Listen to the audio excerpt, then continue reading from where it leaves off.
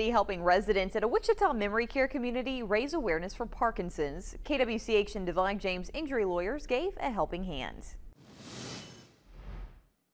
Residents at Wichita's Chisholm Place are very crafty. And then you need to choose what scent you want it to smell like. Each month, the facility chooses a different cause to support.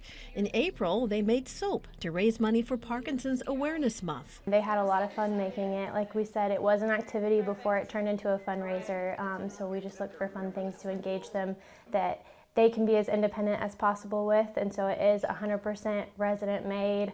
Um, it's a pretty simple process. You're going to stir it up and we'll pour it into your mold. Sound good? Aaron Cernick, Life Engagement Director for Chisholm Place, says the activity helps residents stay engaged. They really love any chance that they get to give back or to reconnect to their community. We love giving them those opportunities, um, and they just appreciate that chance and feeling like they are still able to make a difference. KWCH and DeVaughn James injury lawyers gave a helping hand.